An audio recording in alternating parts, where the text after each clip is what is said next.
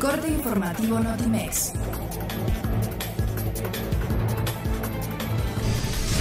El presidente Enrique Peña Nieto aseveró que el reconocimiento a la victoria de Andrés Manuel López Obrador en las elecciones por la presidencia de la República proyectan certidumbre hacia el exterior y hacia los mexicanos. El candidato ganador, Andrés Manuel López Obrador, señaló que su encuentro con el sector empresarial fue de cordialidad y de coordinación y se caracterizó por la confianza mutua para trabajar de manera conjunta en la transformación del país. El presidente iraní Hassan Rouhani afirmó que el retiro de Estados Unidos del acuerdo nuclear alcanzado en 2015 con las potencias mundiales es ilegal y afectará a todos.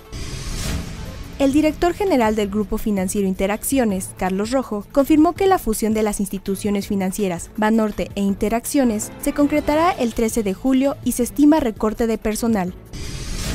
La delegación mexicana que acudirá a los Juegos Centroamericanos y del Caribe de Barranquilla 2018 fue abanderada por el presidente del país, Enrique Peña Nieto. El primogénito de la cantante estadounidense Tina Turner, Craig Raymond Turner, fue hallado muerto en la casa ubicada en Studio City, cerca de Los Ángeles, en lo que las autoridades policíacas han señalado como un suicidio.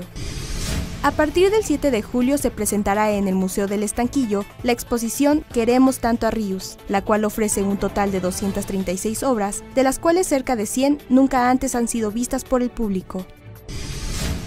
Notimex, Comunicación Global.